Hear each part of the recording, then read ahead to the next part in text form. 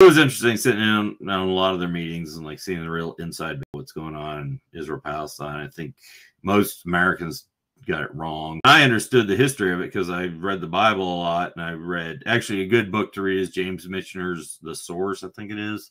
Um, I read it while I was in Israel.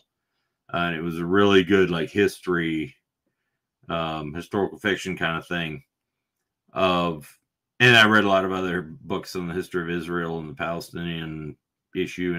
But when you get there, you're like, yeah, it's not so black and white. It's not so cut and dry. So a lot of what I see, all the rhetoric I see flying around on social media and everything, it's just like, dude, shut the fuck up. You don't know what the fuck you're talking about.